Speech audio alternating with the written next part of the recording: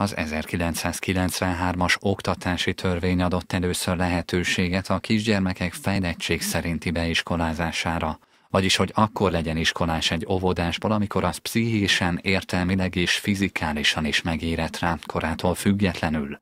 Mint a 35 percben nyilatkozó óvodavezető elmondta, ahány gyermek annyiféle szintű érettség, hiszen a kicsik különböző szakaszokban különböző módon fejlődnek minden gyerek más és más. Tehát azt kimondani, hogy már pedig mindenki kész van, ekkor és ekkor nem lehet. De a, az az eljárás lent, amelyet kidolgoztak, az lehetőséget ad minden olyan gyereknek, akinek lemaradása van, arra, hogy maradhasson tehát nem zárta ki azt, hogy már pedig el kell menni, mindegy, hogy hol tart a fejlődésben, el kell mennie, hanem lehetőséget ad arra, hogy további egy évre maradjon óvodai kereteken belül a nevelése, és fejlődhessen.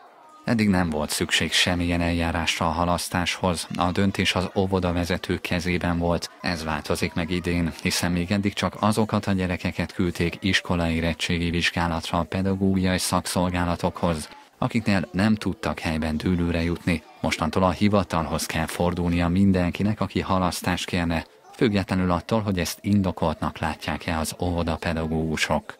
Az óvoda vezető elmondása szerint náluk minden év novemberében mérik fel a gyerekek fejlettségi szintjét, azt, hogy hol vannak hiányosságaik, miben kell még fejlődniük. Így történt ez tavaly is. A kérdéses gyerekeknél a pedagógiai szakszolgálat vizsgálatát kérték, ezek a vélemények pedig december végéig vissza is érkeztek hozzájuk. A szülőknek, pedagógusoknak tehát teendője nem volt ezzel. Azok a szülők viszont, akik nem rendelkeztek pedagógiai szakszolgálat által kiadott szakvéleménnyel, azok valóban január 31-ig az oktatási hivatal felületére feltölthették a kérelmüket az alátámasztó dokumentumokkal együtt. Én úgy tudom, hogy ez így le is zárult, tehát egy olyan gyerek sem maradt ismereteim szerint, akinek ne kapta volna meg a megfelelő szakvéleményt. Illetve akinek pedig a kérelme bent van, az márciusban kap választ.